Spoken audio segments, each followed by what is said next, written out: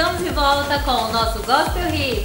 Agora vamos curtir a Oficina G3 Água Viva. Roda aí.